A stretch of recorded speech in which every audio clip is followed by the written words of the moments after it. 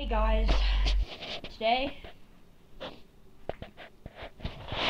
we're going to make some peanut butter toast.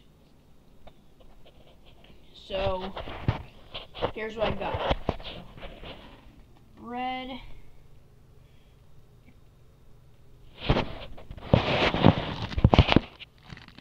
Okay. So I let that cool down for about three minutes.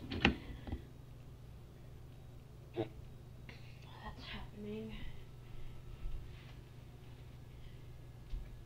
Okay.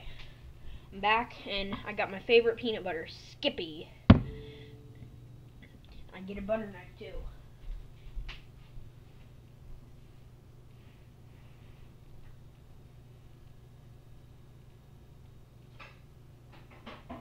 Alright.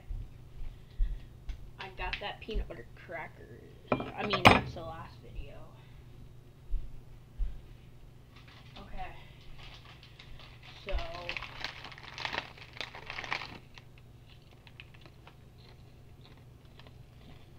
I'll cut the video for a sec.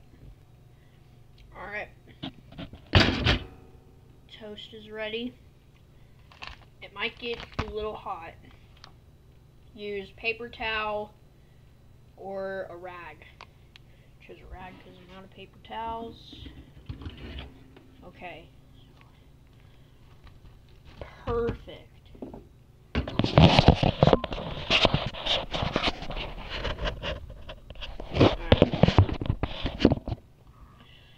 So,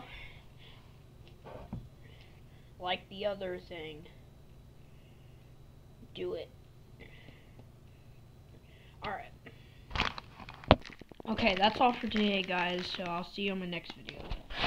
See you guys.